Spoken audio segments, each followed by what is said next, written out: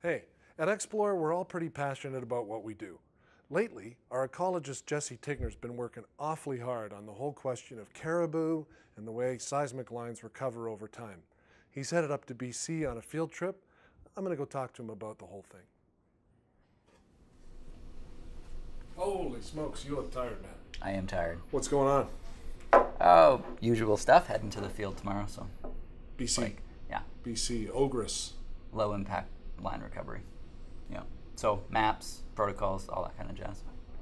Low impact line. re- So, what is this thing, anyways? You're working on this project to Yeah, it's sort of line recovery. for specifically for mulch lines, eh? Because the um, like the um, Environment Canada caribou thing, the recovery plan, the way that it's being implemented by a bunch of the provinces, BC in particular, uh, is to say, well, maybe there's lines that don't count as lines because True. they're mulched and they recover quickly. true. Yeah. I, well, so we see That's that what we've been saying forever. It's like they're not all the same. They're not all yeah, absolutely. built equal. So and so it's an interesting sort of setup because um, there are for sure some of those lines like we've got data to show that not us, the community in Well, I mean, general. we do too, but anyway. yeah, but there's also mulched narrow lines that still do have an impact. So there's this weird blurred kind of edge of width. And what, what we're doing on this grant in particular is to say, well, how quickly do those lines recover? So we know But how do you measure reco- recovery for what? Obviously, caribou. Well, we're how wide is recovering- how, when is it?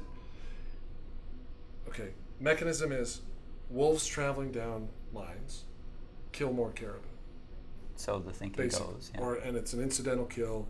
Wolves aren't actually hunting caribou; they're hunting other stuff. They're hey, encountering there's them They're encountering caribou, and since it's there, let's kill it because it's a dumb thing, and I'll kill it. Um. So when is it too narrow for a wolf? What is the liter? What is it? What's Uh, the science? give or take two meters. It, the exact width is hard to say for wolves because there's sort of some issues with delineating line widths, but for many critters, it's two meters and narrower. In BC, folks are saying if it's 1.75 meters or narrower, it doesn't count. It doesn't count for, and is that that's the regulation, or that's kind of the thing? That's the that- implementation held of the up in- regulation, Is that held yes. up in the science? Like the 1.75 is a pretty narrow line, and you know it's not Yeah, it's basically a hand cut, or I guess narrowest of mulch cut. narrowest of mulch. Yeah, hand cut is you. Well, so you're in going to actually go BC, up there and say, okay, is this no line was cut in 2004. It was mulched at 2.75, Mm-hmm. and now it's and now they're in, and it's not usable by wolves for incidentally. Yeah, so we're well, we're measuring a bunch of different attributes, but actually this project is quite neat because we're going to measure some pretty basic structural recovery, like how many stems are there, how tall are those stems along the line. But really, what we're going to do is collect data to try to um, understand the mechanisms behind um, those recovery trajectories. So we know anecdotally that mulch lines are recovering. Um, because you go out there and you see, oh, this line wasn't cut that long ago, and it's kind of hard to find. Um, so, Well, plus it never cut that much down to begin with because it probably weaved and bobbed, depending on how it was cut. so that, but that's exactly what we're going to test. So we're going to do all kinds of neat stuff like measure mulch depth, measure soil moisture underneath the mulch, measure um, recovery is a function of different microsites along the line. Like it, it'll be a pretty neat little project. No, that is pretty cool. And then do you relate that to forest types? Yep. Like do you say, Forest okay, this is types. deciduous, poplar, cottonwoods, balsam. So we use the VRI sloped. data, the vegetation re- vegetation resources inventory data from BC, the Timber Crew stuff, and uh, set up a bunch of different plots basically It based on probably that. varies depending on orientation of the line. Yeah. Relative to the sun or relative to slope. So we're, relative we've got a bunch of treatments. We've got um, general land cover type, sort of um, upland, lowland, with a, a few kind of key distinguishers in there. We've got um, line orientation, so is it north, south, east, west, or a slant? We have new mulch cut. We have new mulch cut versus um, reopened mulch cut. Uh, and we have line width relative to surrounding forest canopy. Oh, cool. Very See, I- that's something I wish is that more people understood that all seismic lines aren't built equal. They vary a lot. It depends the forest type they were cut in. There's a lot of different variability. That's it drives me nuts because Yeah. people like this latest plan that Alberta comes out with, which I think is a complete uh, problem. But anyway, is they're saying, well, you can't have source lines or receiver lines closer than 300 meters, 240 or 200, whatever it is, meters. But it doesn't talk about the width. Hmm. So you, you could hand cut a line, and it doesn't matter to wolves or caribou. hmm But you can't have those 300. It's that, that to me that misses the whole mark, the whole point, the whole I would agree. Yeah. bit on ecology. Okay, what about this thing of quickly because I know you got to go. What about this thing of um, planting trees? What about it? Well, like Cenovus is tweeting, and they have they got a website, and they're talking about uh, like we're planting trees to accelerate reclamation. It's going to be good for caribou, and it's going to be good for wolves. So is that is BC looking at that same? Well, so like, where's the thinking on that? the the thing I, maybe Cenovus came up came up with this on their own independently, but the in Alberta, I'm sure in- they're under pressure. Oh, Like, I'm I, I don't know, but I'm sure they're under pressure. I mean, I think all of us are under pressure to do something, something, to yeah. reduce impact. Right?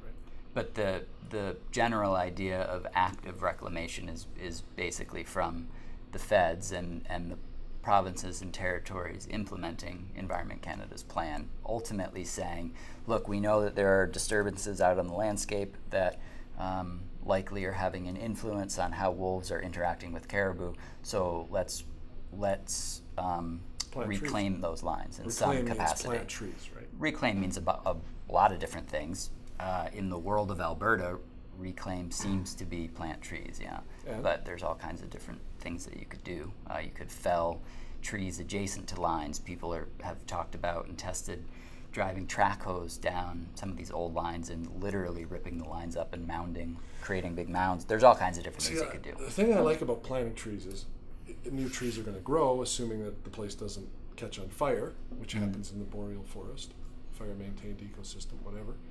But um, it's going to take a while. It's going to take a long while. It's yeah. going to take a while. Like you're planting these trees now. I'm assuming they're this big. Okay, well, Yeah, my little probably. Arbor Day tree that I got in grade three, it was like by the time I got to grade twelve, it was like that big Yeah. or something. That's the problem. That is a problem, yeah. And I mean, it, I, I would say that that's one of the problems. It, it takes a long time to, to recover. Uh, it also, I don't know if there's a ton of science there to show how effective planting trees is to dissuade wolves from traveling down lines. In a general sense, sure, if there's stuff in the way, um, that that should dissuade a wolf from from traveling down a line. But you know, I don't know. It, it seems like it's a lot of money to spend to do that, given that we're not totally sure. But you know, And you, that money you want could to try be spent stuff, on something else, presumably, or Presumably, yeah, it could like be. what? I, it could be used to try to figure out um, if there are if there are ways to dissuade travel along new features that we know we're going to have to put in. Uh, it could be used to uh, better plan um, development scenarios in the future. I, you know, it, could be used to plant trees if, if that's what Cenovus wants to do, Yeah. Huh. or anybody else. Hmm. Well, complicated bit. Anyway, I'm sure the field data you get will be good. Yeah, well, hopefully it will be. How many? Uh, you're like back. You're gone the rest of the month, right? Like Yeah, I'll probably come back three the beginning of weeks. August, yeah. You'll have the full beard going. I will. Yeah, I started growing it out early. yeah. cool. And uh, fly out tomorrow. yeah, Wheels up at. eight or ten, I can't remember. Eight or 10. Morning. Cool. Travel safely, man. Right on. Sounds good. Okay.